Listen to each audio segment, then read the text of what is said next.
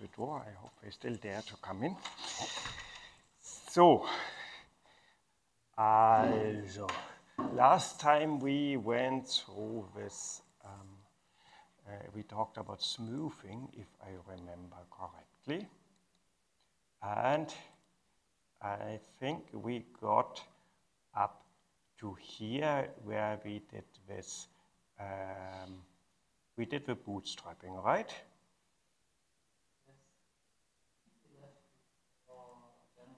Yes, we also tried the leave one out cross validation and we tried the adaptive bandwidth where we did and then we were exactly and when we did this um, inverse variance weighting where we saw that we um, uh, that if we want to, um, as our data is, has Poisson noise, it's better to not use, to not uh, make uh, an average over the normalized fraction, counts divided by sizes, but rather sum up the counts and divide them by the sum of the sizes. And uh, we did this here now in order to do a simple smoothing. And I think, I don't even know if I have put this here. Yes, and we used this to go back into our simple kernel smoothing here. And in the kernel smoothing, we changed our smoothing, our simple kernel smoothing uh, method such that we calculated the weights as before, and when we took the sum of weights times counts over weights times sizes. And that gave us a new smooth plot, which is now slightly better than if we were to use the kernel smoothing uh, using the mean, the weighted mean of k over s. But still, it's not great because we see here, as we've noticed before, the simple kernel smoothing has difficulties with sharp uh, turns. And we wanted to see how we can now adapt the idea that we had before of um, doing linear um, of doing linear regression or quadratic regression. And last time we did this by, let's go up for a moment we had this. Um, last time she said we make a weighted sum of squares, and in this uh, weighted sum of, and we try to uh, minimize this weighted sum of squares. So here we see the y position according to a regression line, and here the y position, the missing i here, of the actual data point, and we take the squared residuals. Now, question to you guys, has anybody ever thought about why are we actually always minimizing the sum of squares? Yeah.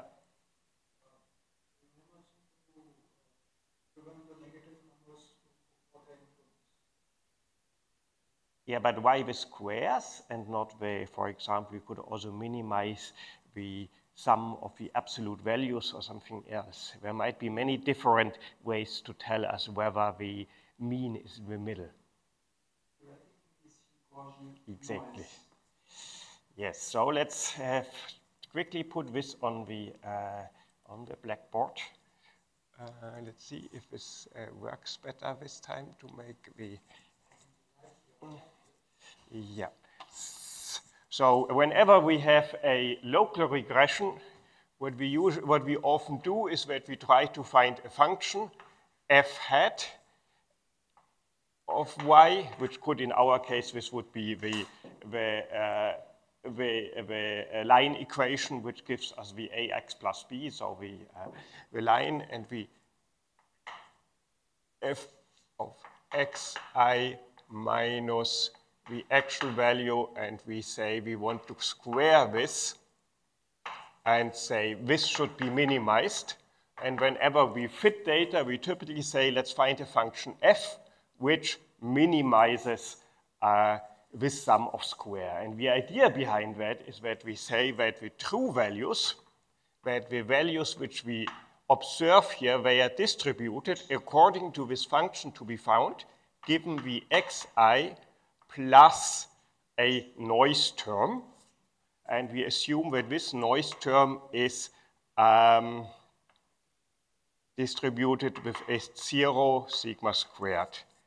Now it pays to rewrite this by saying yi is distributed according to a normal with a mean f of xi and a unknown standard deviation. And this means that if we want to find Vf, we have to solve a maximum likelihood term where we say the normal likelihood, so let's say Fn, so this is the normal density, of uh, for observing the values uh, yi given the values uh, given uh, the parameters of this. I should here. I should write it like this, that I say f depends on some parameters theta, so theta in our case would be slope and intercept, but it could be anything, of course. And we say, given these, parameter, given these parameters theta and the x, I should be uh, maximal, and we want to make a maximum likelihood, so that means uh, we want to have the joint product of all these to be maximal. And the way how we typically would write this, instead of working on the product, we maximize the sum of all this. So we say um, we, we want to maximize over all the possible values phi, we, um, or we want to find those phi's which maximize um, with sum log y i given theta and xi. And if I now remember that the uh, normal dist arc max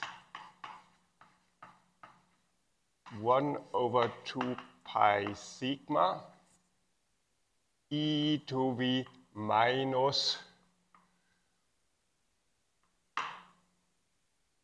why I, uh, wait, uh, I've written this stupidly now. I wanted to write y i minus f hat xi squared over sigma squared. And yeah, I also should have said here, uh, mu is the other uh, mu is uh, the other function of sigma of the function dependent on theta of vxi sigma squared. And so this is what we wanted. Um, and now I have this thing. I take my logarithm. I ignore these prefactors here because they are all always the same. So I get argmax sum over uh, 1 over sigma squared sum over minus yi minus f theta xi squared.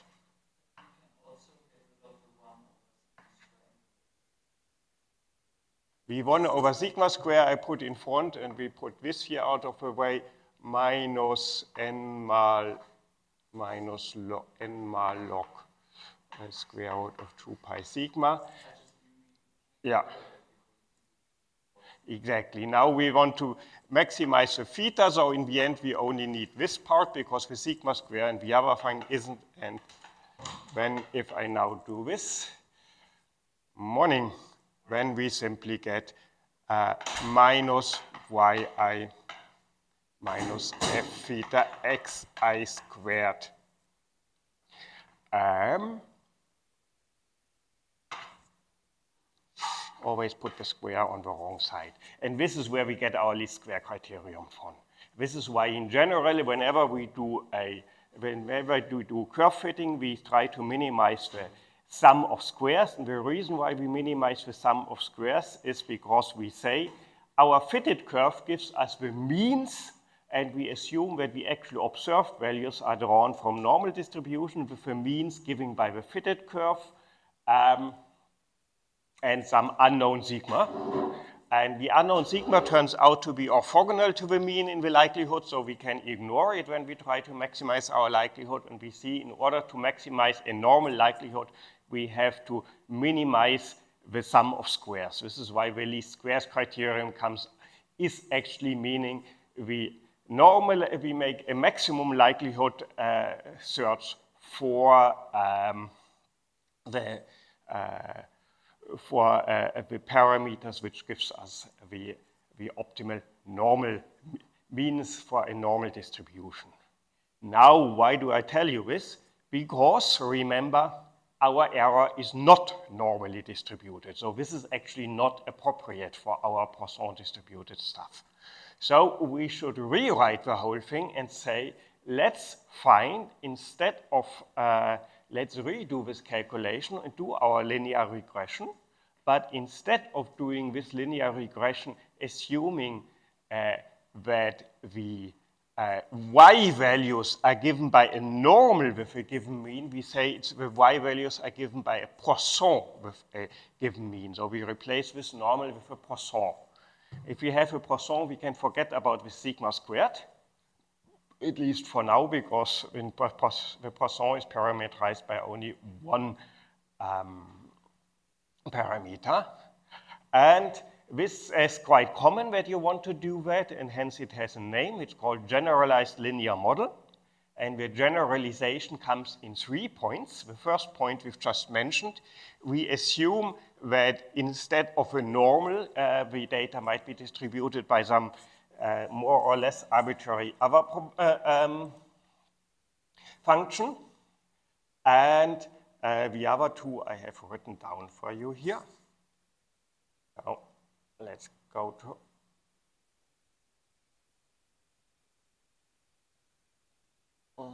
where have I put them? Uh, here. So in a generalized linear model, we start off by saying our counts follow some distribution with a given mean. Second, we say, or let's first say third, we say the mean is caused by a linear model.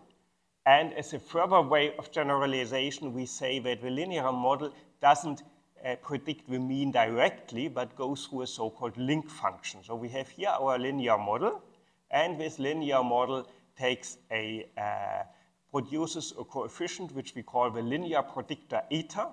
And the linear predictor eta is coupled with the mean of the, uh, of the uh, um, presumed um, probability distribution via a function which we call the link function. And you've already got reused to the thing. Whenever we, we always took the log, and so we stick to this. So we also use here the log link.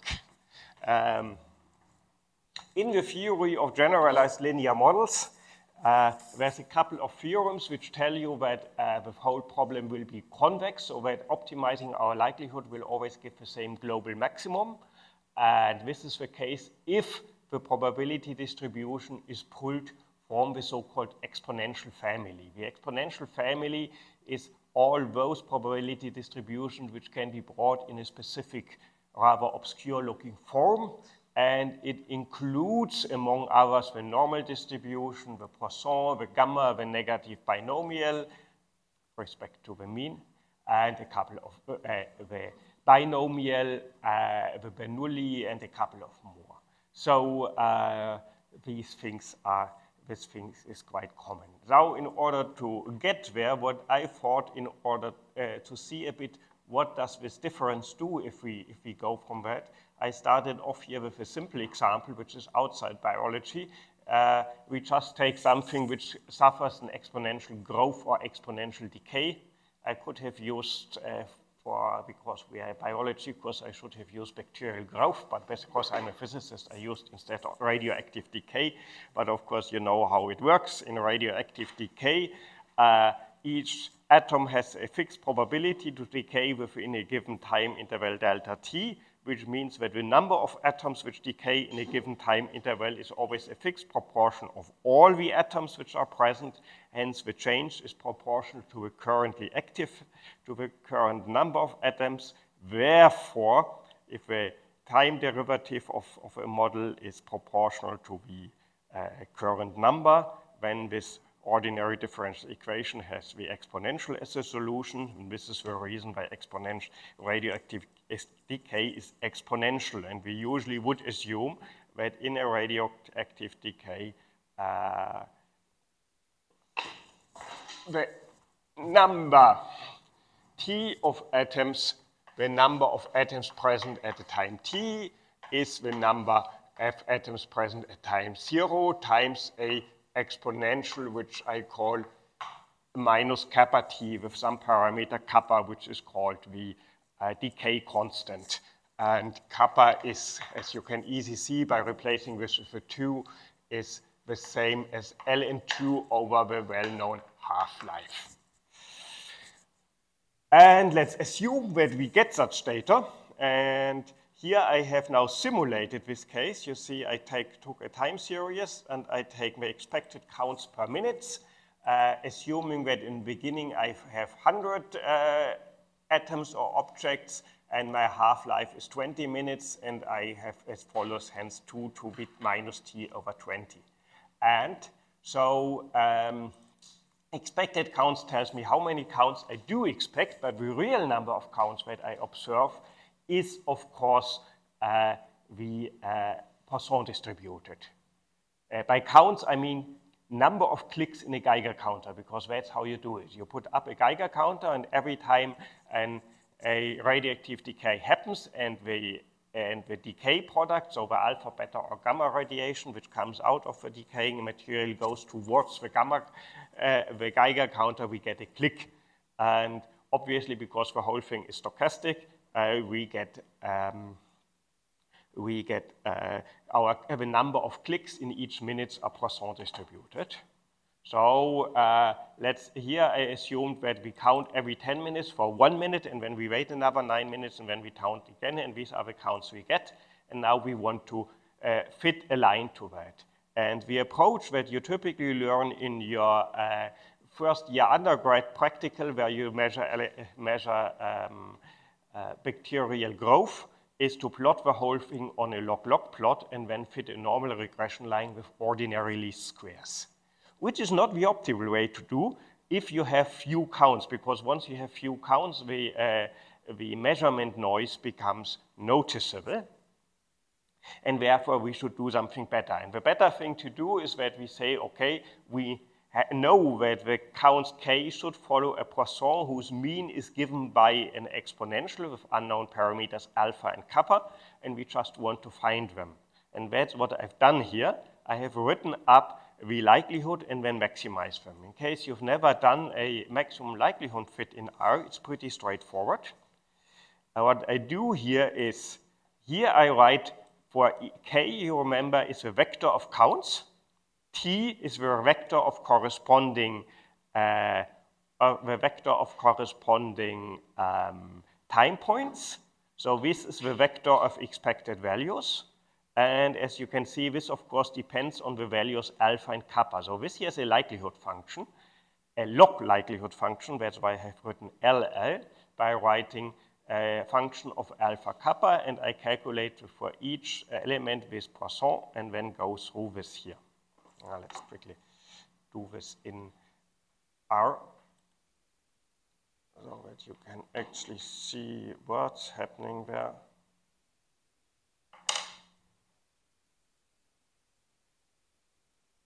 Now, come on. So I simulate my points as before. Oh, we are getting one more. Morning.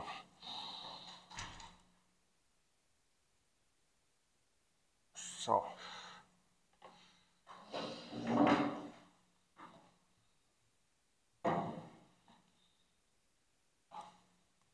here's our radioactive decay. And now if I now assume some values for alpha and kappa, let's say, uh, let's take nearly the right value. Let's take 80 times exp uh, minus t times, um, what might this be? Log 20, I have no clue what 20, what ln2 over 20 is, but I just make a wild guess and say it's 0.1. And now you see this are the expected decay constants, which of course give me now values which I can put here and plot here and see how it works. And I want to get now a line. I want to now find values for these two, which makes this line very nice. But uh, I have to judge how much I deviate from the, the uh, observed values deviate from the expected thing according to the expected amount of Poisson noise. So what I do is I uh, ask what is the probability of observing the actual counts k if I have these things, and now I get here my probabilities, and I can already say with log equals true, give me the logarithms of the probabilities. Just as a side note, this is nearly the same as if I would have written uh, this with a log in front. So it is actually the same values, but this is more performant because it uses a formula where the log is already in. Otherwise, it exponentiates and logarithmizes again, which is a waste of time. And it, that is a waste of time is relevant because we will now do this often. I take a, I sum all this up, and now I get my total log likelihood, and I want to find the minimum value for this log likelihood. And what I do for this is I write this as a function, I say this is the first function argument, and this is the second function argument. And then I use the general purpose optimizer function of R, which is called optim. And it wants a second argument, the function to be optimized over. And as a first argument, it wants uh, an initial guess. And for the initial guess, I just use the guess that I've just used, 80 and 0.1. And what it will then do is that it always calls this here with that. And the important thing I have to do, the optim function is a minimizer, but I want to do maximize the likelihood, so let's put a minus here.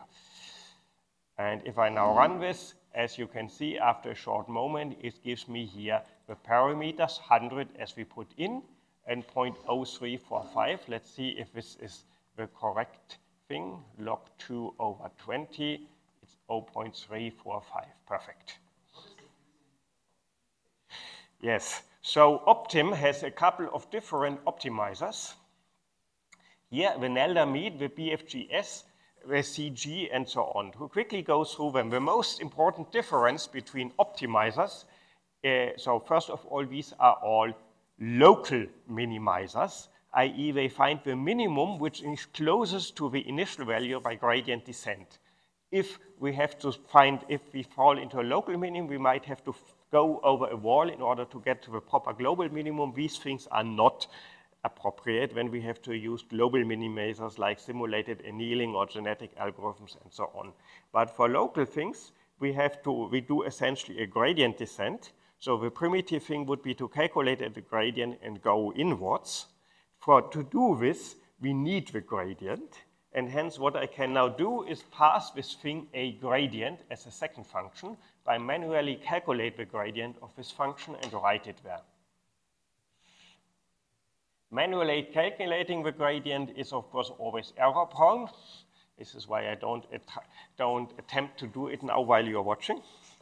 Uh, but uh, if you want to get a fast result, having the gradient is crucial because otherwise it would have to write to get the gradient by numerical differentiation, so it does a step into each coordinate direction. Here we have only two coordinates because we have two parameters, but if you optimize over a 100-dimensional function, calculating the gradient manual takes ages.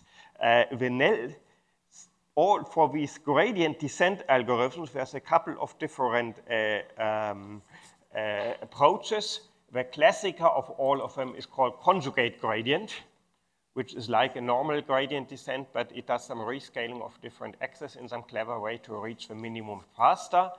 The uh, Boltzmann, Fletcher, Goldfarb, Srifa algorithm, which is a variant of a conjugate gradient, which tries to do the whole thing more efficient.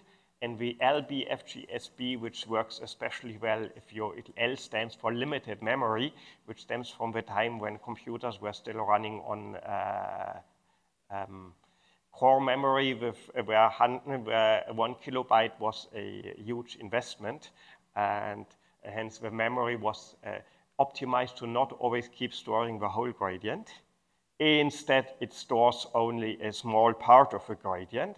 Uh, that was the aim of optimizing BFGS for limited memory. We still use the LBFGS algorithm because it achieves this by using only part of the gradient by, uh, sorry, the gradient we can always directly calculate because all these here, these three here, they expect that you have a gradient, but they try to get the Hessian, the matrix of second derivatives.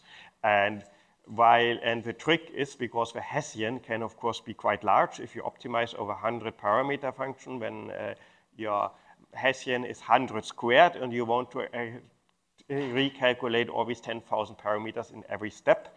So there's ways of asking, what do you actually have to recalculate? And this is, uh, and they, these three things differ in how they do that. And the LBFGS is especially clever in recalculating only a small part. So it's basically the fastest linear gradient-based optimizer.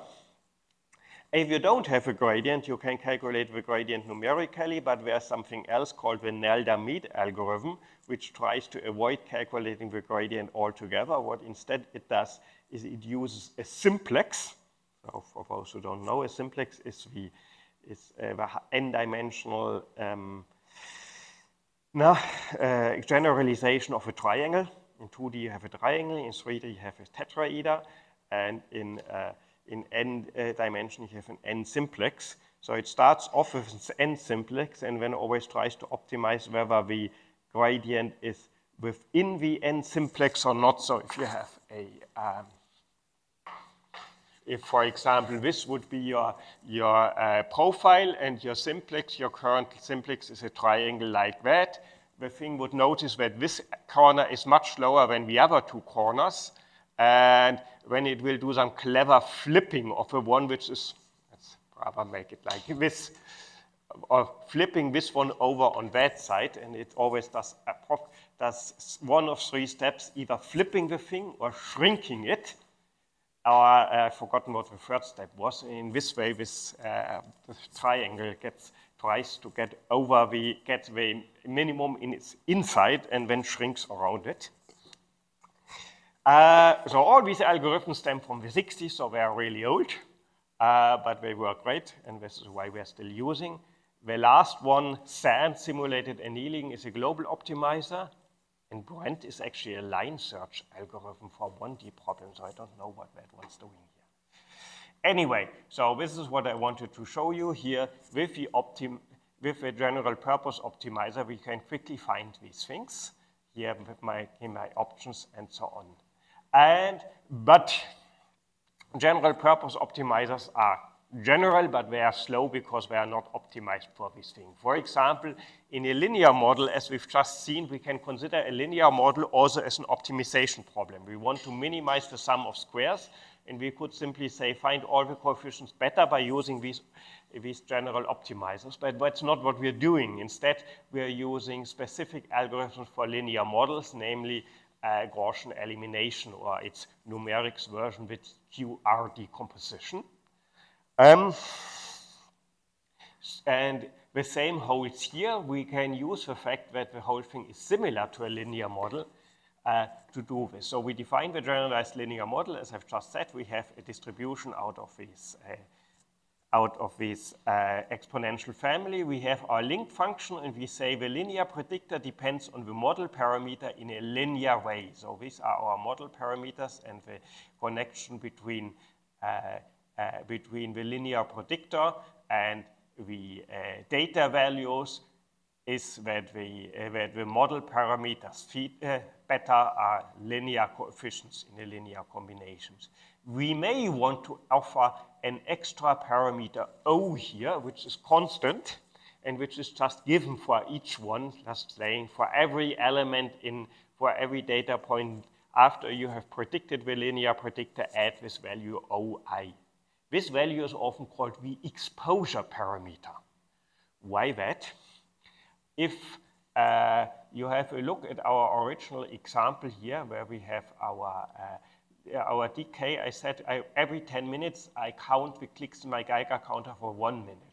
What if I decided that here towards the end, when I have few clicks, I don't count for one minute, but for two or three minutes to collect more clicks. But here, because I'm lazy, I only count for one minute. So I expose the Geiger counter for different lengths of time to the data. Hence, I have differing exposure. And if you now think about it, how does this exposure go into our model? Obviously, if I wait twice as long, when I should multiply here this value by 2. If I pull it up here, I should add the logarithm of the length of time that I added here in order to fix for my differences in exposure. So this is why these O's are often called the exposure values, uh, especially important in when you work with something like cancer uh, data, where you want to know what's the probability of something getting cancer, asking how many years he has worked with asbestos. This is why it's called exposure, because usually you talk, the standard textbook example where this is needed is uh, how many years does a, was a subject exposed to a certain dangerous condition. So, and uh, the way how we now calculate our thing is we, instead of using the general purpose optimizer that I used here, I can also use the linear model function, but I have to fit a g in front to switch to generalized linear model and say again, my linear model is simply that k depends on t because that's my model here. Eta is intercept plus slope times time, so my sum here is only to one thing. And, my, and I have to tell it what kind of of probability distribution it has, and the GLM function comes with a set of family functions. Uh, this, is, so this is a distribution family, and this here we call the Poisson family, and there's this function which informs it about everything. If you actually uh, look at what this Poisson family does, Poisson uh, you see it returns some magic object, and inside this magic object is actually a list of 12 things, namely the things which actually needs to calculate it, the link function, the inverse of the link function. So if you would look into this with the log, with the exponential, a variance function which tells us how the variance depends on the predicted mean. So this is just the identity. And uh, interestingly enough, what's not in there is the actual distribution function because we don't need it. And that's a funny fact about generalized linear models because what this GLM function, here you see what it does. I call it here, the link equals log I can omit because this is the so-called canonical link, so it's the default. And when I get back uh, the same intercept as I got before, 92, uh, uh, what have I done wrong here? Uh, the intercept here, the slope is the same as before, 3, 4, 2. 3, 4, 2, this time with the minus. And the intercept, of course, I have to exponentiate it because it gave me the intercept inside the exp and not outside. And then I get 92.38, which is the same as I have here. What the GLM function does internally, in order to speed up things and need less iterations in order to converge, is what's called uh, iteratively reweighted least squares. So for each iteration, it does a weighted least square, the same as we've done a weighted least square for our, uh, for our um, kernel before. But the weights are now taken from the variances.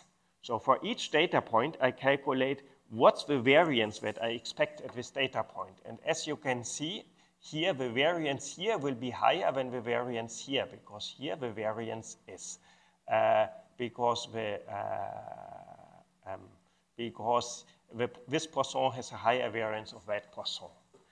Um, so uh, what it does, it uses the linear predictor, compares it with, uh, with our observed data, and tries to reduce the square of the residuals, but on the log space, and it, uh, and uh, it weights each, um, each residual square with uh, the inverse variance, also as we've done before.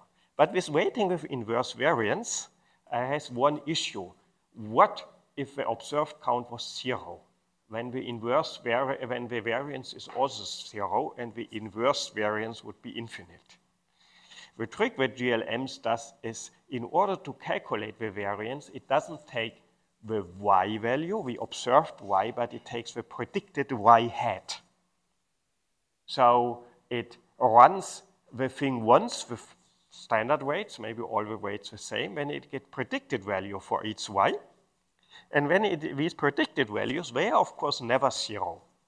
And when it uses this to predict the variances, and using these predicted variances, uh, this predicted expression, it predicts what variance the count would have if the expected mean were correct, and uses this to calculate the weight and reruns it and iterates this until convergence. And you can prove that this always converges to, win, uh, to the proper minimum.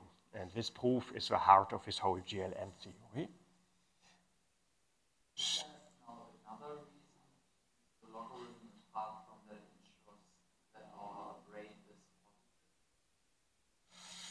Um, here now, uh, I mean here, yeah. Here in our the radioactive decay problem, we used the log because only that makes the model linear. Remember, this is our this is our model, and we need to push this thing to, through a log in order to get a, a linear predictor. And that's the crucial part. We want to get to a linear predictor. Now, what happens often in practice, however, is especially statisticians, very much to the annoyance to people, to physicists, statisticians have a habit of choosing a link function simply based on what gives me the right domain. And in statistics textbook, you often read, well, we, we fit on the log scale because then we don't have to bother with negative values. Uh, not a good uh, thing. As we said in, in biology, my argument is always we use the log function because we use the logarithm because the mass action law acts on products and we want to work with sums. So now how do we do this to come back to our kernel smoothing? So I now want, you remember last time I made myself here this uh, smoothed kernel and I want to make, uh, I wanted to add noise, and now I want to have counts. So what I'll do is I exponentiate this function, uh, this one here, in order to get rates for my Poisson, because you see this value becomes negative, and now I do exactly the stupid thing, just exponentiate so, has, so that everything is positive. Also because I constructed the function so that after exponentiating it gives something nice. Where was I? Here.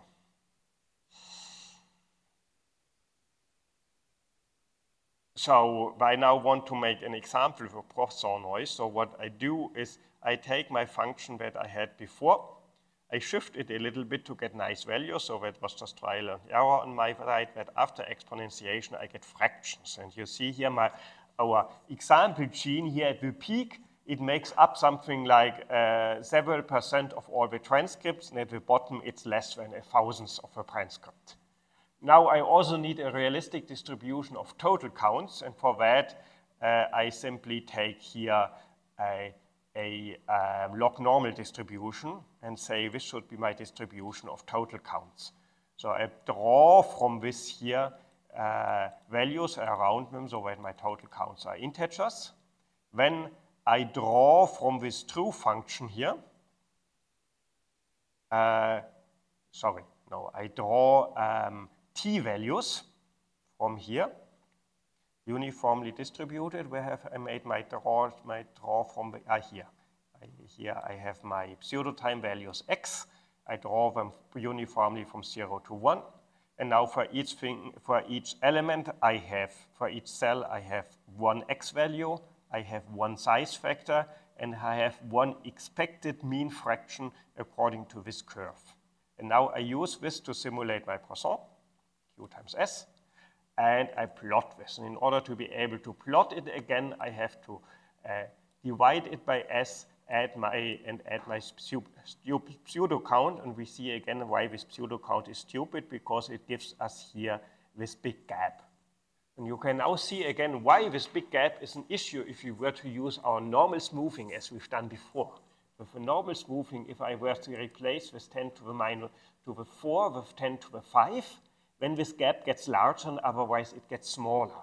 So this, this value here influences how much the zeros are able to pull the fitted curve down. And we don't want that this strength of how much it gets pulled down is followed by some arbitrary uh, scaling factor that I put here. This is why we now use the scaling factor only for the purpose of fitting uh, the data, for the purpose of plotting the data, while in our calculations we don't want to see any scaling factors. What we instead want to see is do smoothing.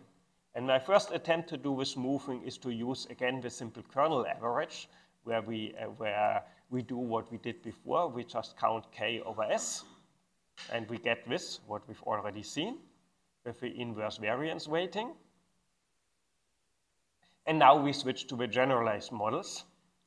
And for the generalized models, I can again do our local regression. You remember how our local regression worked?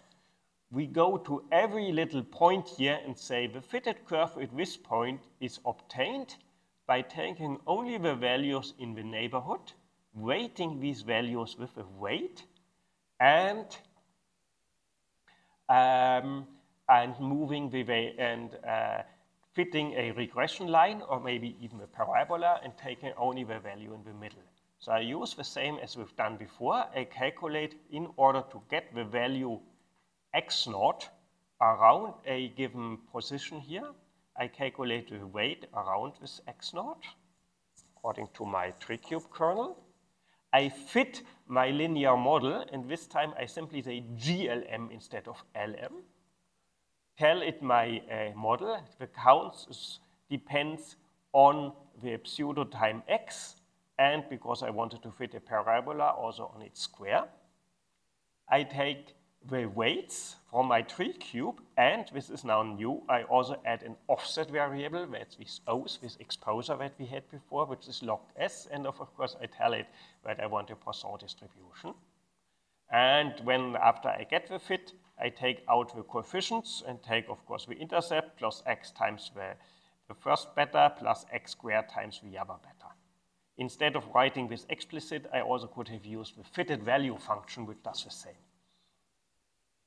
And now I run this for each value in my grid of x points, and uh, it gives me some uh, it gives me some warnings, but I ignore them for now. And now I plot here this, and we see the blue one is the real curve, and the red one is our fitted curve. And we see that the fitted curve does a very good job of following the, the exact shape of this top here. Only here it gets a bit into trouble, but this is understandable because you see there is much more zeros here than here. That was, of course, coincidence, but uh, can't be helped. Uh, or it could be helped by switching over to a adaptive bandwidth, so that maybe here we get a bit more than here. But overall, this is what we now do. And this is where my notebook stops. And Now, last time I suggested a homework where uh, you could try to fit such a curve for a couple of different um, for a couple of different uh, uh, genes in order to uh, to see how different genes uh, vary along pseudotime. I haven't done my homework, but has any of you? Let's assume that uh, the where, those who aren't here have done it, and if we now listen to this recording, they say, of course I've done it, and I'll show it next time. Uh, yes, I think, uh, do you have a nice heat map by any chance, Philip?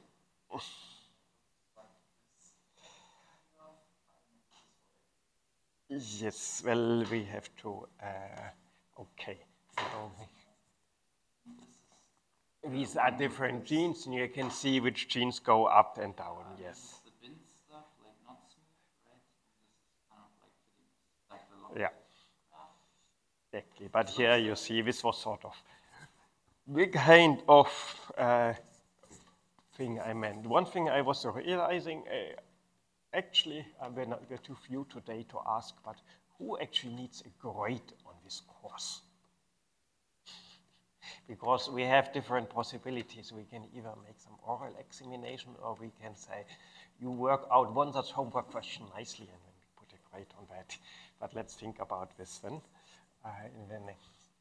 So, uh, because all the others who might need a grade don't know that. So the next thing I wanted to talk about today, besides this, is about PCA.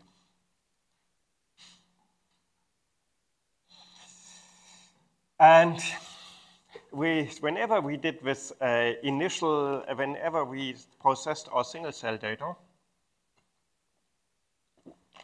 the PCA was always our uh, first step, and after we log normalized the data. And the question is a bit, why is this so helpful? And also, what does the PCA do internally? And I thought I, uh, what I want to show you today is two things. First, how does the PCA work? Or second, how does the PCA work? And first, why does it help us? And before we get to that, let's have some intuition. And the whole intuition behind is that we imagine that uh, the, uh, that there is something which we call state space and something we call feature space. Uh, so feature space is each cell, as we've seen, is described by a vector of log normalized counts. And these vectors live in something, in a vector space which we call the feature space. And we call it the feature space because it's spanned by measurable uh, quantities, which we call the features. But we know that uh, many of these features are highly correlated, and this is because the states, because uh, the cells probably or seem to live in a much lower dimensional manifold, which is somehow embedded in this feature space. And one way how to understand this is that we imagine that in order to fully describe the state of a cell, whatever we mean by state, but its total biochemical complement, we might be able to specify some vector, and this vector has, lives in a space with an intrinsic dimension, which is maybe 20 or 30 dimensional. And one, one issue which we get into here is if I talk about uh, describing the state of a cell, I should probably distinguish between a relevant and irrelevant state degrees of freedom. Because uh, if I want to describe a cell completely, of course I have to tell you about every single RNA molecule, how many of them there are there, and so on. But on the other hand, maybe this doesn't change so much. So my imagination of a feature space is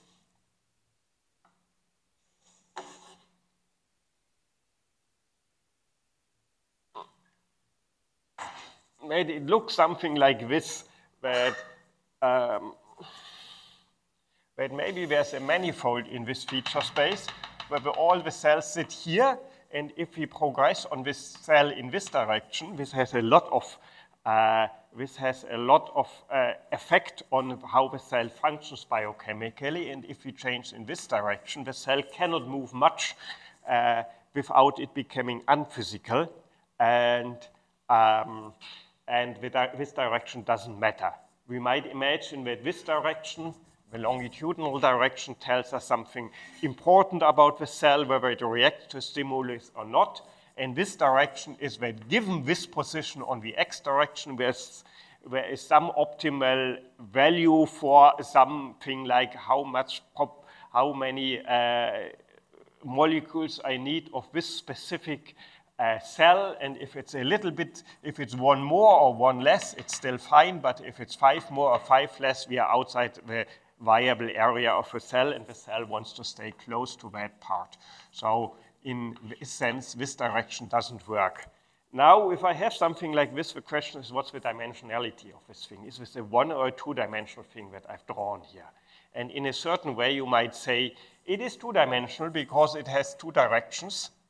But in this direction, we have orders of magnitude more extent than in that direction. So if I step back a bit, it becomes one-dimensional. Uh, if you want to, you can formalize such aspects by using uh, this uh, box counting dimensions, which people use who work with fractal geometry, who then like to say, if you make boxes to, uh, you might know, who remembers how a Lebesgue measure is, uh, is defined? Uh, but roughly, if you want to, if you have a space and you want to define its volume, one way you can do is to set a grid over the space to make to count this volume in squares or boxes or hyperboxes in space. We have more of them, and you count how many boxes are uh, how many boxes uh, uh overlap with this thing. Here my, I have my where and might say these boxes, they all overlap. And then I make the boxes smaller and the grid finer and finer and just count how much uh, is overlapped with this. And in a one-dimensional object, what you will find is if I make the grid half as, uh, as twice as fine, then the number of overlap boxes will double.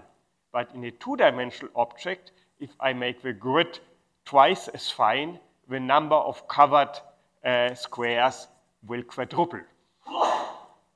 So if I have an object like this, what I will notice is if I start with a rather coarse-grained grid and make it finer and finer, then first the number of overlap boxes will scale linearly, and at some point it changes and scales quadratically.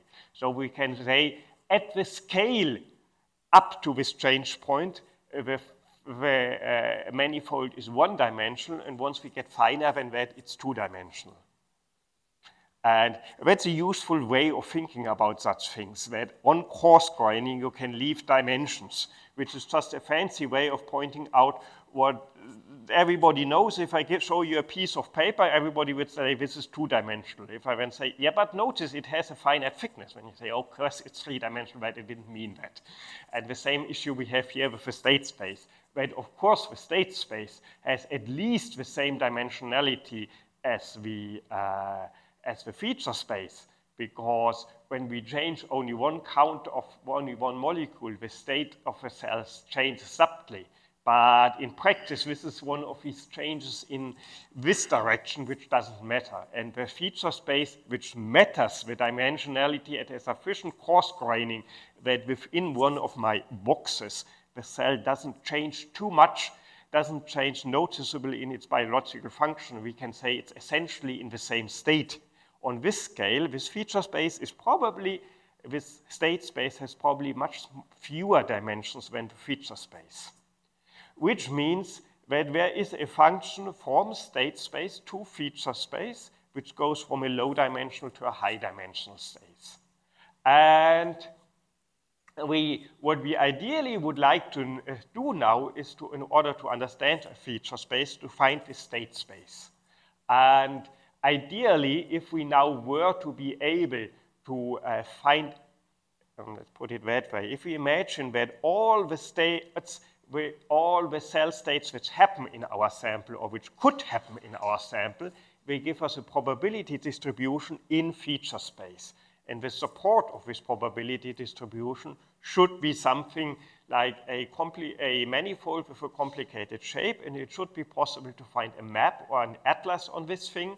And let's imagine it's an atlas with only one map. Then this map would give us the intrinsic low dimensional uh, feature space dimension. And so ideally, if this, if this would be in feature space, we have something like this when we should be able to find a map which maps this on 1D along this part.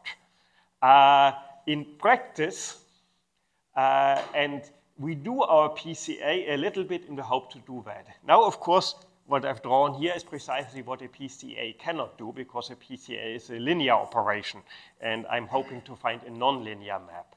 But nevertheless, even uh, even uh, with a linear operation, we should lose many uh, feet, many dimensions. uh, because if if a state space is a man, if this manifold in state space has a certain low dimension, we can still ask, can we embed it in a Euclidean space of some higher dimension? And is this Euclidean space we need to embed our manifold might still have much fewer dimensions than the number of genes. And this is what we try to find in the, with our PCA. And yeah, and sometimes it helps to, to think back about that this was sort of a mathematical motivation. Some people call, in bioinformatics, call it the manifold hypothesis, that they say spaces live on a manifold. And of course, the term manifold hypothesis also implies, you know, not every subspace is a manifold. We don't want any kinches or kinks or discontinuous stuff. And this is actually something important to discuss, whether this is really realistic to say that everything is continuous, because sometimes cells divide, and that's something that we certainly cannot, uh, uh, cannot map as a continuous trajectory on state space already because it branches, but still, it uh, makes our life easy to at least try to find the subspace of a feature space that is as small as possible, but still big enough to embed uh, the state space manifold when it's somehow mapped over into feature space. So now I want to show you what actually uh, the PCA does in um, recent files. Ah, here, it, it, what the PCA actually does. And to do this, what I will do is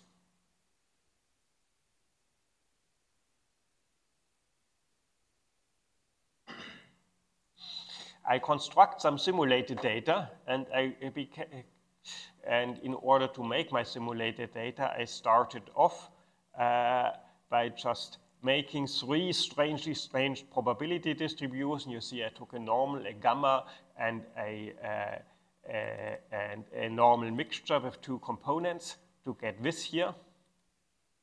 And I just now imagine that each cell is constructed by drawing from each of these densities one value. In this way, I get a three-dimensional state vector, and that one I will now map into a feature vector. I later realized that this wasn't the best idea to simulate, but for now it will be useful, and we'll later talk about why actually the simulation is not a very realistic uh, simplification of a cell space. But it is useful to explain PCA.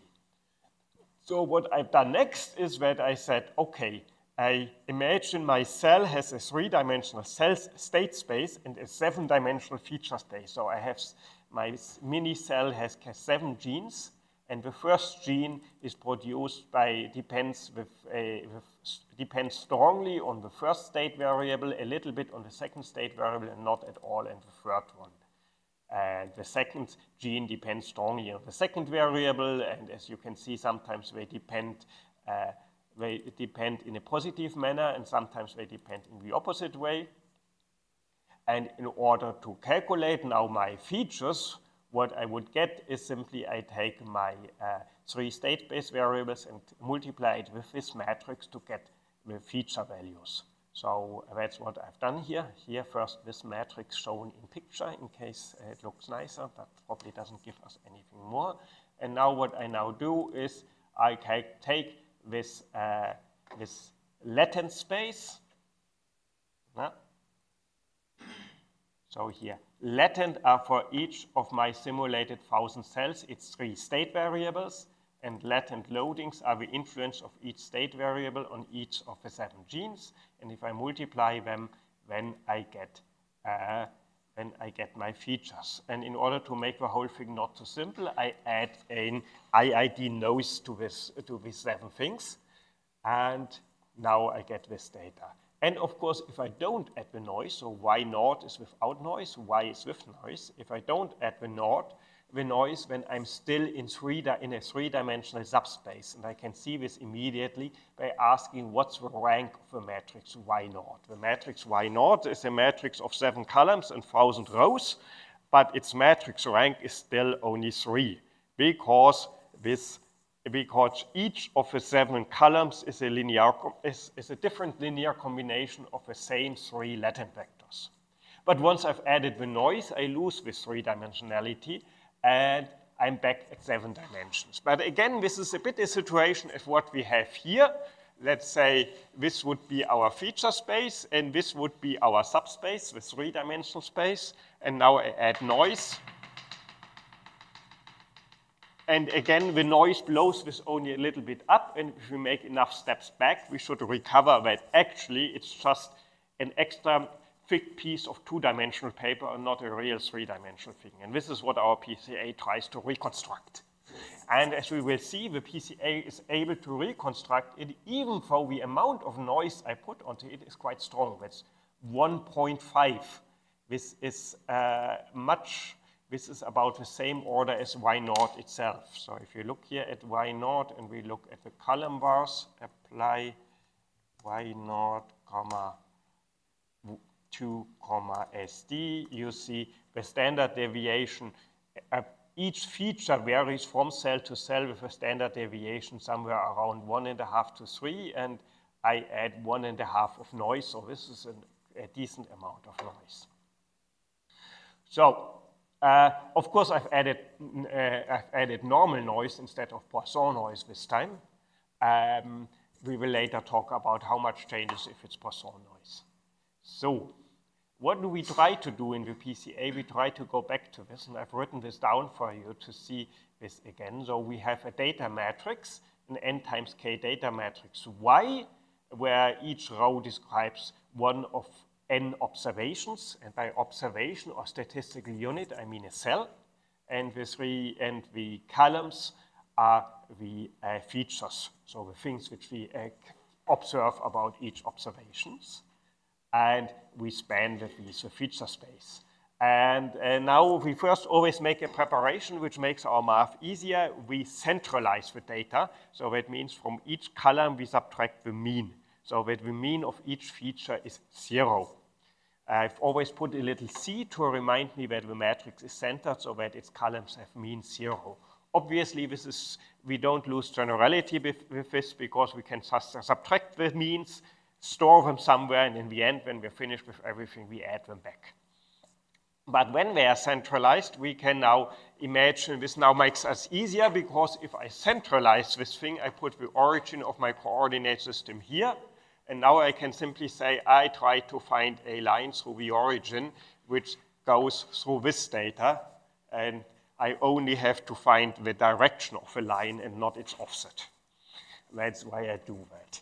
And what I now want to do is I want to rotate the coordinate system. So you see my initial coordinate system is here parallel to the uh, directions of a blackboard, and I want to find a new coordinate system where one axis is like this and the other is orthogonal to that, such that the edge mass as possible of the data lies in as few as possible of the coordinates. So we try to find a rotation.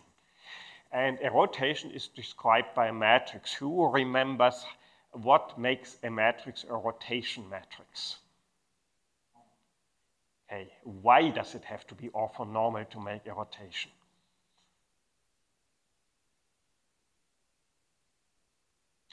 A matrix conveys a linear.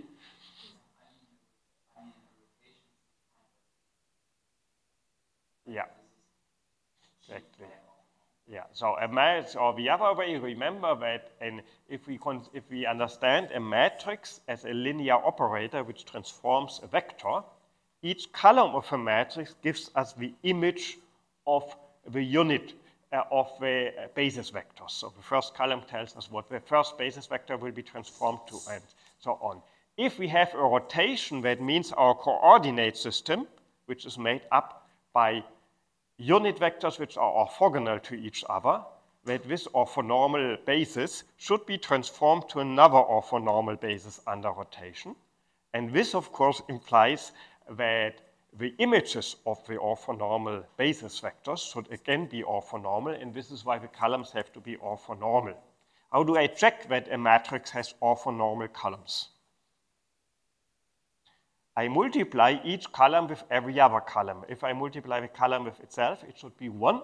If, if I multiply it with another column, it should be zero. And important, I can carry out this easily by multiplying the matrix with its transpose, because A transposed times A does exactly this. It, because usually a matrix by matrix is the columns of the rows of the first matrix times the columns of the second, but if you transpose the first matrix, you multiply each column by each other column and put this into the matrix. And then, so a rotation matrix is identified by the fact that RT times R is the unit matrix or the identity matrix. And that's what we use here. So our objective is to find a rotation, that means a matrix of R dagger R is 1, that transforms all our vectors in a new basis and such that uh, and uh, such that we have uh, that uh, we have as much possibility along these. So if we calculate the variance along the first coordinate, we want to maximize this variance because as you see here in my imagine, if I take the coordinates, if we take the coordinates of all data points along this first rotated basis vector, I get maximum variance, and that's how I want to find this thing. Uh, the other way which we, how we can understand PCA is by saying once we invert the PCA, we want to get maximal reconstruction. So let's try this quickly by saying we take now our data vector and run it through a principal component analysis. And afterwards, the prcomp function of R gives us back this thing here, the rotation matrix, which is called ROT. Here, the rotated data matrix X. Here, uh, the standard deviations of the individual X values, which should now be maximal in some way. And here, because it has centered our data matrix, it subtracted the means, here the centers. Let's check that it really does that. So let's first center our matrix by subtracting the column means. So here is now my centered matrix, and each column has mean zero. You can see this here. And in fact, this is also what's written here in PCA dollar center these means that it has subtracted beforehand. Uh, of course, if you rotate a centered matrix, the new matrix will also be centered.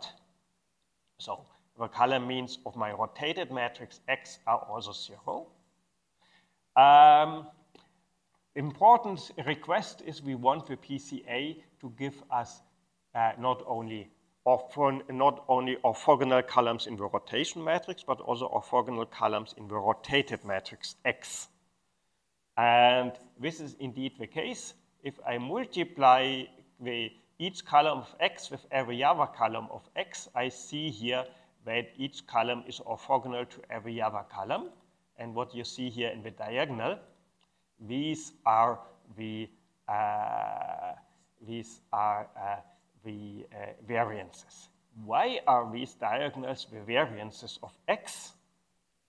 It's easy to see. If I multiply xt with x and look at the diagonal element, they are, of course, uh, these, the uh, um, the norm squares of a column, so of column j multiplied with column j, so the scalar product of column j with itself. So we have to add, so we have to go over all the cells i and add this up.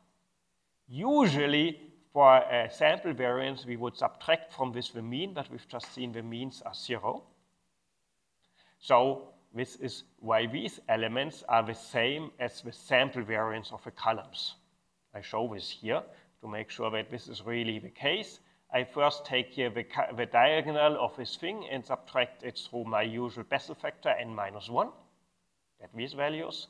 I look at the variances of the columns of x, get the same values, and I look at these s uh, values, square it, and I also get the same. So we see that this is all this thing, and they are, uh, they are ordered in decreased values. So we see from top to bottom, uh, the, uh, really the first principal component has picked up the most variance, that one a bit less, and so on.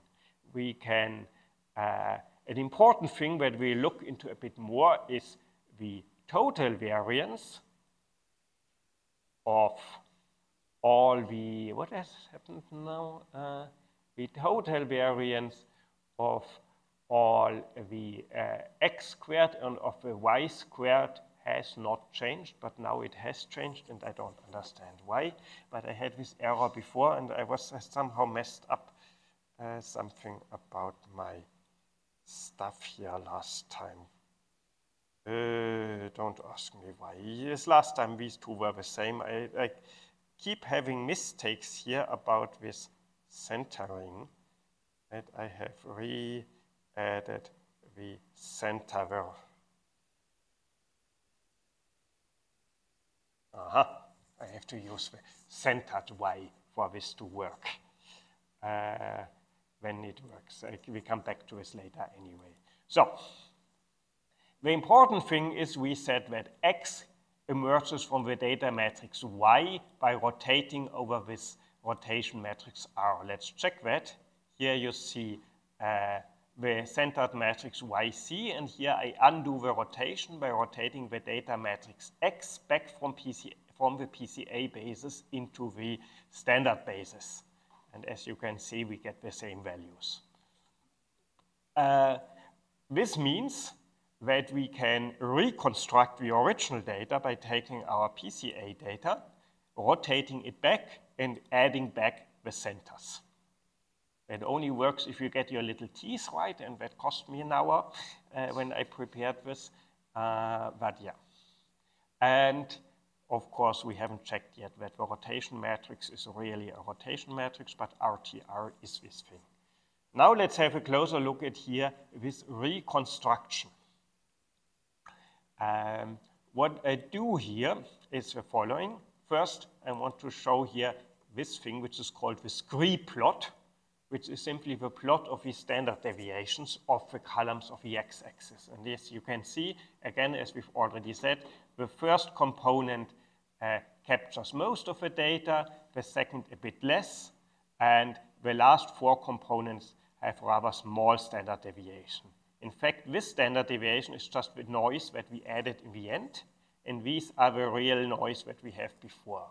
And as we've, and uh, so we see here that these first three components have substantial magnitude, and these have, well, it still looks substantial. That is because when I rerun the code, I kept playing here with how much noise I add.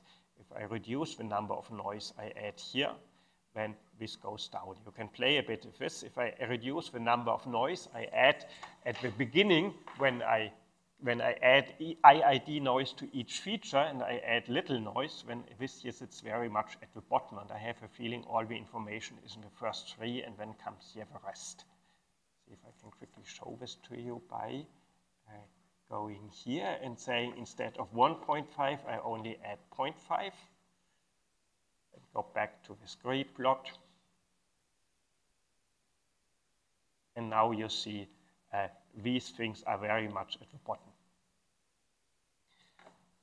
So, um, another thing I can do is that I take the cumulative plot, so I calculate how much variance I have if I use only this, if I add up the variances that I've just had here, and I see how this thing here goes up until I get here to the total variance, so this yc squared.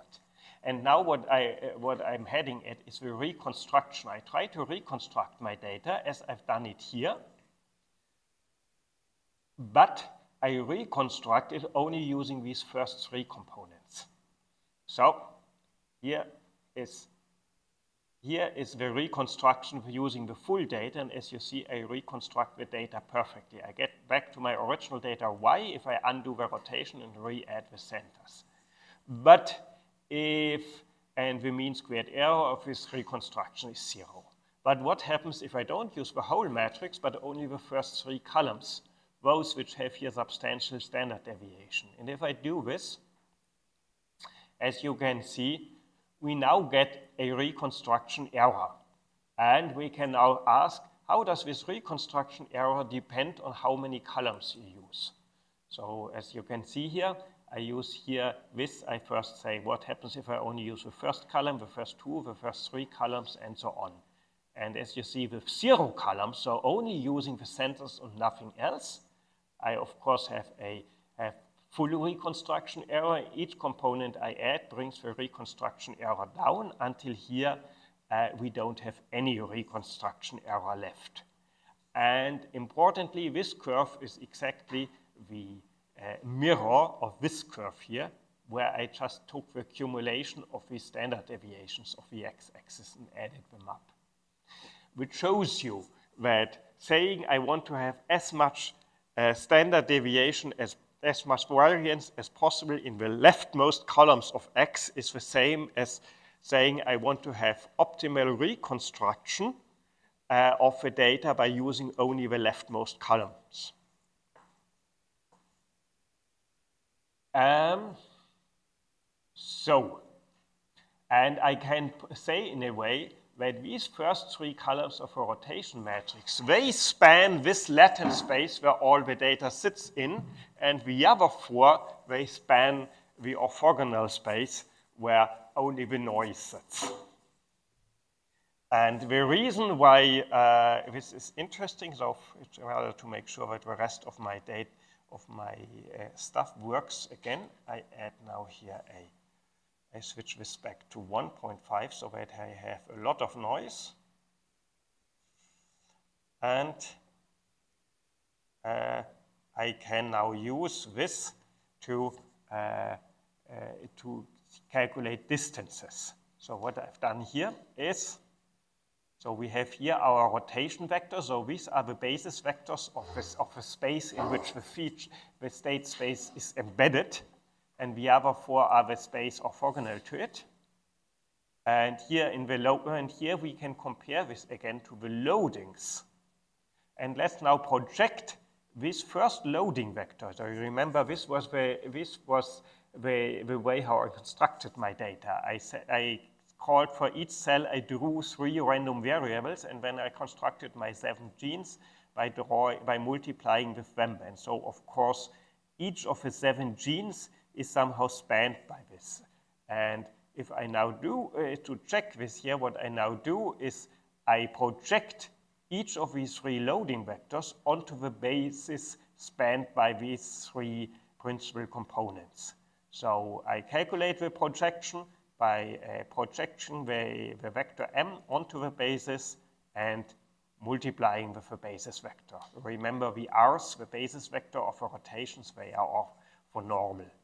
And then I get here now the projection calculated into this. And this is now my projected uh, vector, my projected loading vector. And let's compare it with the original loading vector. And as you can see, it's nearly the same. I can look at the differences. So the difference between the projected vector and the original loading vector uh, on the scale of the thing. And notice oh, it has changed only by 0.002. So if this was the basis, if this is, is, the basis and this was our loading vector, here the difference is only less than a percent of the whole thing. Which means our three, our PCA has, has reliably reconstructed this space that I put into the dimension. I put in these three latent loading space, spanned the space, and I recovered this space. What, however, I haven't recovered is the correct identification I cannot identify the first component with the first loading, the second component with the second loading, because this might be rotated against each other. Sometimes I can, if one loading has much higher standard deviations than the others, then the corresponding PC will also have much higher. But if the loadings have similar uh, standard deviation or similar variance, then they will, will intermix. Difference uh, K. So and here, this is the case for all three loading vectors. They all are very well, uh, they all are basically within the, uh, the PCA space spanned by the first three principal components. We don't have to, if we project into it, we hardly lose anything. So it was in there already. We can already check, we can now uh, check the correlation between the basis vectors and the loading vectors to see uh, something like this. So here we see our principal components, and as you can see, the first principal component aligns quite well with the third loading vector, while the second and the third one, they seem to be a bit intermixed.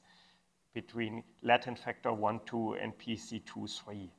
Uh, the remaining PCs, uh, they still have some correlation, but there hardly any covariance because uh, they have so, so little variance.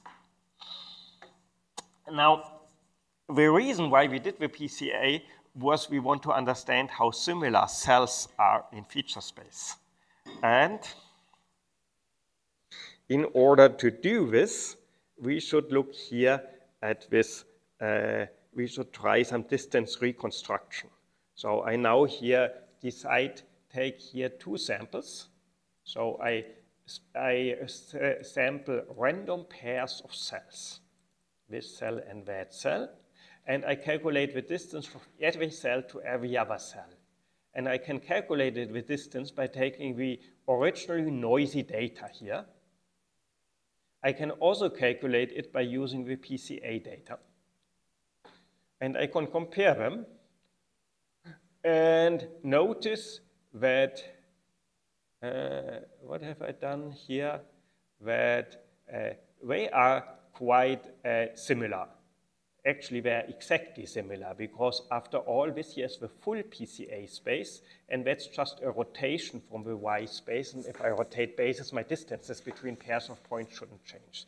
So this is why this aligns perfectly. But what if I now uh, go down to only the first three components? Then I now see that the scatter plot shows these deviations. And of course, the distances is now higher. First, they, were exactly the same, and now I see some deviation. But with feature space data, it contained measurement noise. And because we simulated, we still have the data before we added the noise. And so I can also calculate the noiseless feature space distance. And now I can again make a plot where I first compare uh, the noiseless feature space distance uh, with the full PCA and then with the truncated PCA. And unfortunately here, the distance doesn't, the difference doesn't look that strong, but if we calculate the mean squared error, we notice that the mean squared error went down quite a lot. So uh, here the variance in cross section is only half as much. More importantly, you see here sort of some socket of a minimum noise, which is always present, which is simply the distance which is caused by adding up the noise. And this vanishes here and we reach, actually, we are able to discover where two cells are really similar, which we weren't able to do before. I have a better space afterwards, which shows you uh, which shows you it's much stronger by using more realistic data, and when we see a dramatic difference between these two plots instead of the other thing. But before we go there, we have to understand what PCA is actually doing. We saw so far, we've just talked about, um, we've just used this prcomp function, but we have never looked at what's happening inside. And uh, it's quickly said what the PCA function does internally is it does, uh, it takes the data matrix and turns the data matrix into the so-called covariance matrix, YTY. Why is this called the covariance matrix? So first of all, I would say before I've always written a little c to say the data matrix is uh, centered. I got tired by this. Uh, now my data matrix is uh, centered, it's always centered no matter whether there's a t or not. And we'll have a little look at this now, before, but before I make a quick, get a quick uh, picture of my board, so I can erase it.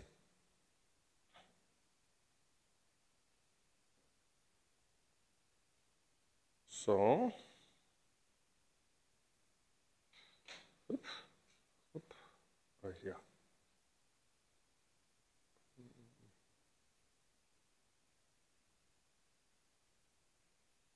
That and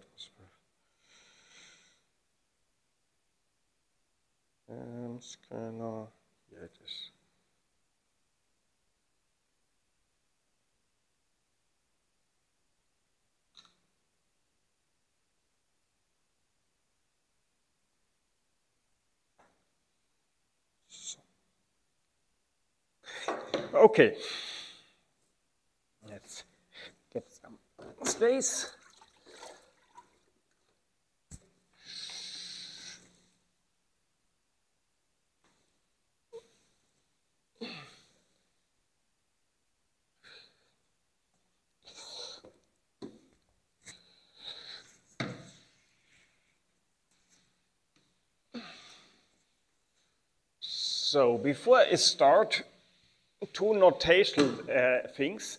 First notational thing, there will be no C whenever I write Y, it's centered. And second notational thing, uh, whenever you work with matrices and vectors, you have this annoying issue that you never know whether the vector, if I say yi, is this the ith row or the ith column of y. I will solve this issue by using a, a fixed notation here, where I say whenever I say i, it goes over the observations. So if I say yi, this is a vector describing one observation, i.e. one row. I use j for genes, so the columns of y. I use L for principal components and S for the eigenvectors that will appear any moment. So first, uh, what is the covariance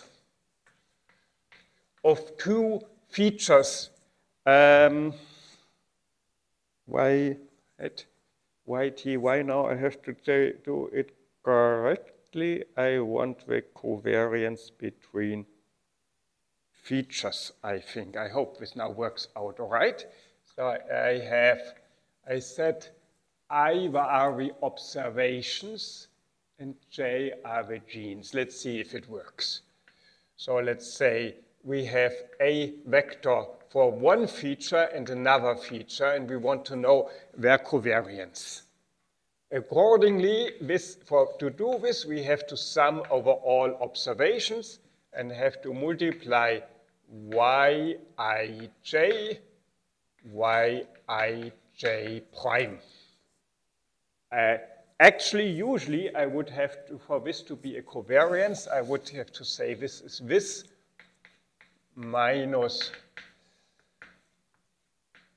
um, minus the average and minus the other average. But luckily, uh, our uh, data is centered, so the average over all the, uh, we know that yij averaged over the um, observations i is zero. Yes. Uh,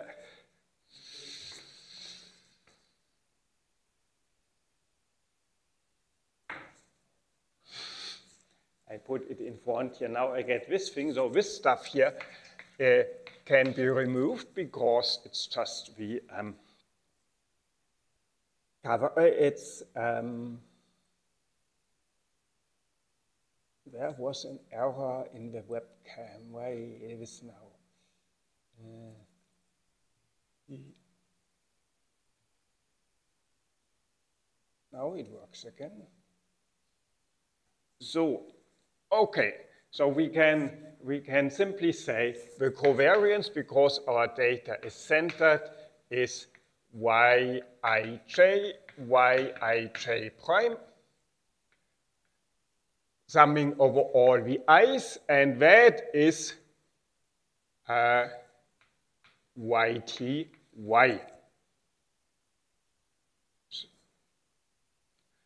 Or is the element j, j prime of yty, as you can see, because this is just a matrix multiplication, and for this to be a matrix multiplication, I have to transpose this. Uh, this is why we call this matrix YTY the covariance matrix of the data, because, well, each element of it tells us the covariance of two features. And of this, what we'll now see in a moment is if I do an eigendecomposition of this thing, it will tell me uh, the PCA, which is, of course, a bit surprising. Maybe Pearson was quite proud of himself when he figured this out. And uh, we'll see how we do this now. So The way how, uh, let's first see whether this really is what's happening. So I take this YTY, so transposed of the center data matrix times transposed, calculate the eigendecomposition. And now, as you uh, see, is um, I get here my data, I get eigenvectors, and the eigenvectors are exactly the same as the rotation matrix that our PCA has given us, except for the fact that sometimes the signs are the other way around. Here in the fourth, for example, it starts plus, plus, minus, minus, minus, and the other it's minus, minus, plus, plus, plus. So the, the, the two matrices are identical up to the fact that the signs might change. This is normal because an eigenvector is only defined up to a sign because if u is an eigenvector, minus u is also an eigenvector. Hence the sign is undefined and can swap between these two notations. The other thing that our eigendecomposition gives us is the eigenvalues. And these eigenvalues are actually, as you can see here, the same as the standard deviation squared times, uh, of course, we have here the same issue as we have here because we calculated on the covariance matrix and the covariance matrix is n minus 1 times the stuff. We don't get really the covariances, so this factor is, will always appear somewhere. But apart from that, sometimes the factor is in and out. You see here the column sums of the P rotated PCA columns and the eigenvalues are the same. And the question is now, how is, why is this? And here I've written this for you. Let's see if I now manage to do this by saying the way how I can understand a basis rotation is that I can say any feature yi. So notice my logic, this is a row because it has, has a column. This was a column because j is a column index, it's a feature. This is now a row because it has an i. And obviously, the way how I can understand and I write this vector as I say this is a sum over all the j's, yij, with ej, which is just the, um, which is just uh, the uh, basis, the standard basis vectors of the vector with all zeros and a one in j. But because we know that uh, yi is also um, because we know that yi is also uh, uh, comes out of a rotation, is, gets rotated to become xi, our basis thing. We can also write it as um, in the rotated basis. The rotated basis vectors are the columns of the vector R and the columns of the vector R, I use L. And of course, the matrix X contains our coefficients I, L. So these are the two basis expansions of our data vector for one element. And um, what I can now do is I want to understand this PCA space rotation. And I've done this here by saying I can split this up into two parts, which I say this is, let's say I want to reconstruct my Y from the PCA space only using the first k basis vectors. So I use this, and then I have the L is k plus 1 till M X, I, L, R, L. So I just split the sum into two parts and I say this here is the reconstructed basis and this is the remainder. So the reconstruction and the, the reconstruction of X using of uh, the reconstruction of y using only the first k components, and this, let's call it delta yi. This is our reconstruction error. Now we can already see what we had before, namely that uh, y there is a different y uh, there is this parallelity between adding up the um, between maximizing the variance and minimizing the um, and minimizing the uh, uh, reconstruction error. Because as you can see, these RLs here, they are orthonormal basis vectors. So these two vectors, they are orthogonal to each other. So we can say that uh, the sum of yi, that the norm of, uh, of yi squared is the norm of this thing squared plus the norm of that thing squared. And this norm here is, of course, easy to see. That's L is 1 to k is xil squared.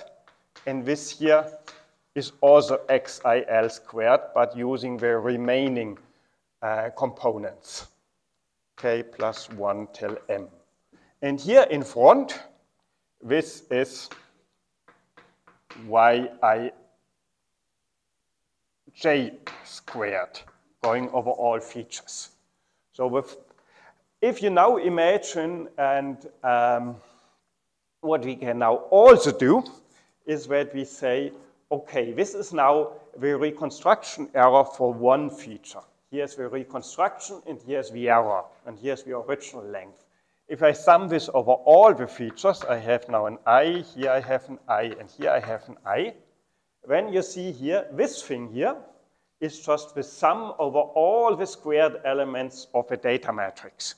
We call this the Frobenius norm of the data matrix. Frobenius norm is just take all the matrix elements, square them, add them up, take the square root. And this here, the whole thing, is the Frobenius norm of the matrix X. So the Frobenius norm stays the same. So we can now understand our variance optimization as uh, the Frobenius norm. Because if you now look at this here, one way how you can also write it is by look, saying this goes now from L is 1 to K, X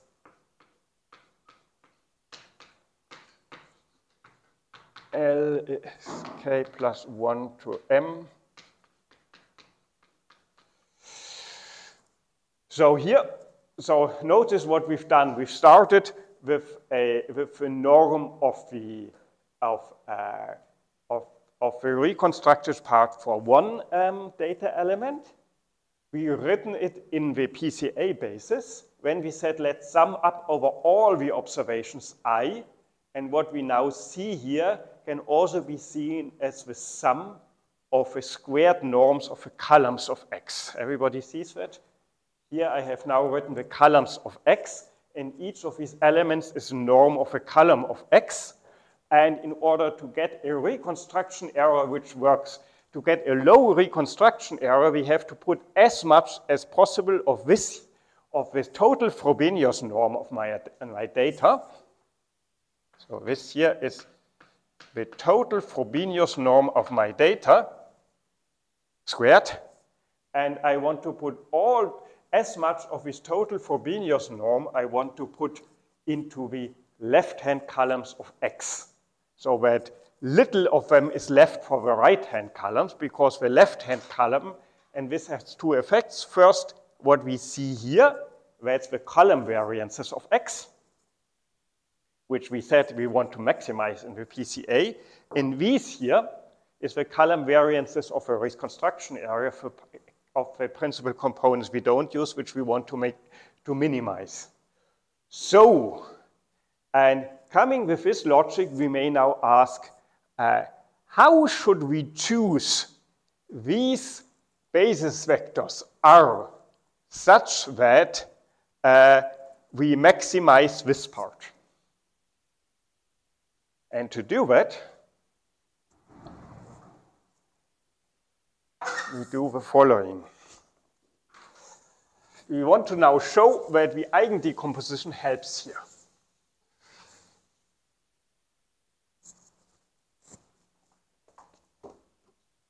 So,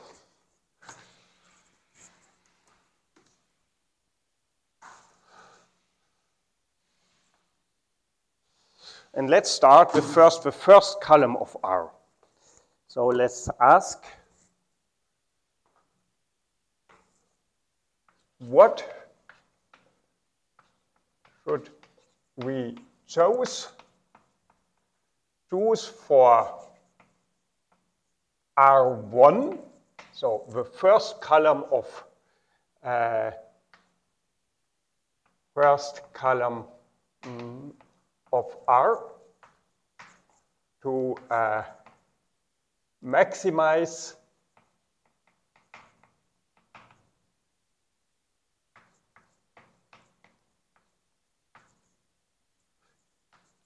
the norm of the first column of X. To see this first notice because we have um, because we have X is RTY. I hope I haven't messed up with these. Each element of each column of R makes one column of X. So for example, so X IL is sum over all the um, Rij.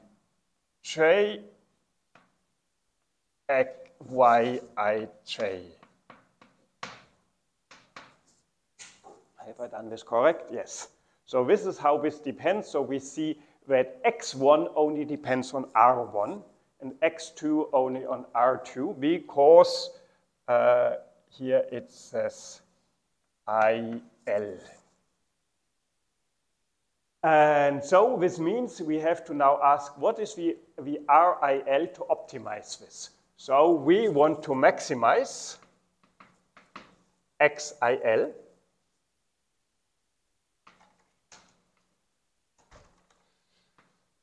or uh, xi1 squared summed up over all the i's.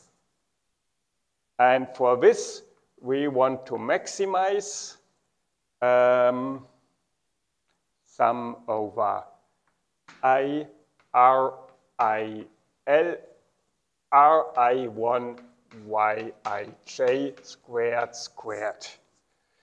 And to do this now, and now we can ask what should we put in to maximize this? And to do this, ex we expand R I in the eigenbasis of yty. So we've done an eigenvalue decomposition of yty. So we've said that yty is u lambda u dagger or ut. Everybody remembers how eigen decomposition works, right? Uh, we have here a symmetric matrix because it's symmetric, it has an eigendecomposition. So there exists an orthonormal matrix U such which turns this matrix diagonal. And this means, and lambda contains the eigenvalues, and the columns of U are the eigenvectors. So I want to expand R1 now in this eigenbasis. So what I do is I have here US, and these are the eigenvectors of yty, and I put in front some coefficient, let's call it rho 1s. And what I now want to find is the optimal rhos in order to maximize this. So I put this in here, I and S, Y i j squared, and now comes with R i 1 squared is, uh, ah, now I have to cheat and look how I've written this up here, where I've put this xil x1 squared. I put this here. Yes, here we go. So we want to see this x1 squared. And as you can see here, ah, this is how it is. We wish to maximize this, the norm of the first component of x in order to put as much state, as much uh, variance as possible in there. And to do this, what I now do is I write this x1 squared as So I want to maximize this thing here.